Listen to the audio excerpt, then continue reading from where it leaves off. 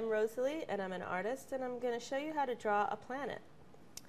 So the planet that I'm going to draw has rings around it. Um, you could just draw a circle and then an oval sort of bisecting it like that for a simple planet. Or if you wanted to, you could start with the rings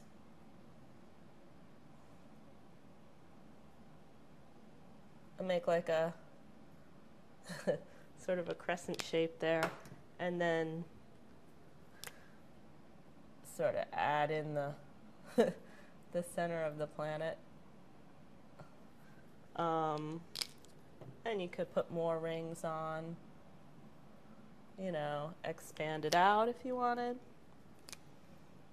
For a really dramatic set of rings on this planet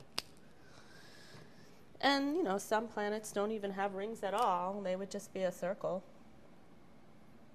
So that's how you draw a planet.